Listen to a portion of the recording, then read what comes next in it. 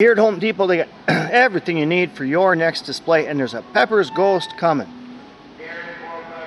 You can see the transformation, how that occurs.